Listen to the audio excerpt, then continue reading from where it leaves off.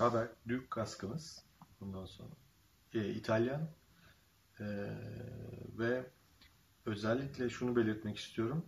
Yanlardan e, yan çarpmalara karşı şarttan 5 yıldızlı e, testlere katılan e, kasklar e, çoğunlukla arka ve ön çarpmalara göre e, şarttan 5 yıldız alıyor. Yanlardan zayıflar. Kask, e, bu kask yanlardan da 5 yıldız almış durumda. E, tabii bu çene açılır bir kask. E, şuraya bastırarak rahatlıkla açabilirsiniz. Çene açılır kask herkes tercih etmez. Fakat bu 5 yıldızlı bir kask olduğu için her türlü güvenli.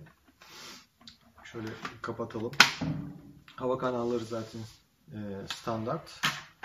E, ve şu da şöyle göstereyim. Fazla çevirdim aslında ama. Güneş vizörünü görüyorsunuz. Ondan sonra açılıp kapatması rahat. Kafanızı rahatlıkla e, eldiveninizle rahatlıkla hissedebileceğiniz gibi. E, kilitlemesi mikrometriktir.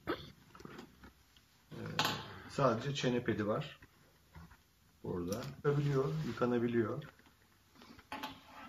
Bir kilit mekanizması var. Bu kilit mekanizması e, sert bir çukura girdiğinizde e, çene açılır, kapanır bir kask olduğu için e, bir anda kapanmasını engelliyor. Burayı kilitleyerek e, onu engelliyorsunuz. Ondan sonra üstünde tekrar hava kanalları var. Böyle görebilirsiniz, test edebilirsiniz.